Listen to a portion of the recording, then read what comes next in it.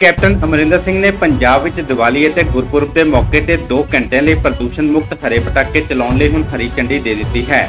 ਇਸ ਪ੍ਰਵਾਨਗੀ 'ਚੋਂ ਮੰਡੀ ਗੋਬਿੰਦਗੜ੍ਹ ਨੂੰ ਬਾਹਰ ਰੱਖਿਆ ਗਿਆ ਹੈ। ਇਸ ਦੇ ਨਾਲ ਹੀ ਸੂਬਾ ਸਰਕਾਰ ਨੇ ਕ੍ਰਿਸਮਸ ਦੇ ਤਿਉਹਾਰ ਤੇ ਵੀ ਕੁਝ ਲੋਕਾਂ ਨਾਲ ਪਟਾਕੇ ਚਲਾਉਣ ਦੀ ਇਜਾਜ਼ਤ ਦੇਣ ਦਾ ਐਲਾਨ ਕੀਤਾ ਹੈ। ਮੰਡੀ ਗੋਬਿੰਦਗੜ੍ਹ 'ਚ ਆਬੋ ਹਵਾ ਦਾ ਪੱਧਰ ਮਾੜਾ ਹੋਣ ਕਰਕੇ ਇਸ ਨੂੰ ਪ੍ਰਵਾਨਗੀ ਵਾਲੇ ਦਾਇਰੇ 'ਚੋਂ ਬਾਹਰ ਰੱਖਿਆ ਗਿਆ ਹੈ। ਮੁੱਖ ਮੰਤਰੀ ਨੇ 9-10 ਨਵੰਬਰ ਦੀ ਅੱਧੀ ਰਾਤ ਤੋਂ ਲੈ ਕੇ 30 ਨਵੰਬਰ ਅਤੇ 1 ਦਸੰਬਰ ਤੱਕ ਮੁਕੰਮਲ ਪਾਬੰਦੀ ਲਾਗੂ ਕਰ ਦਿੱਤੀ ਹੈ।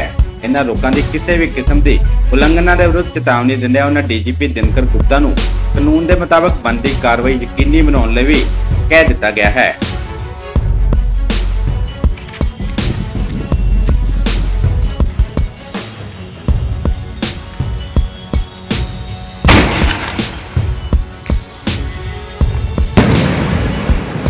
वाओ दोस्तों काफी बढ़िया था देखिए अभी तक गिर रहा है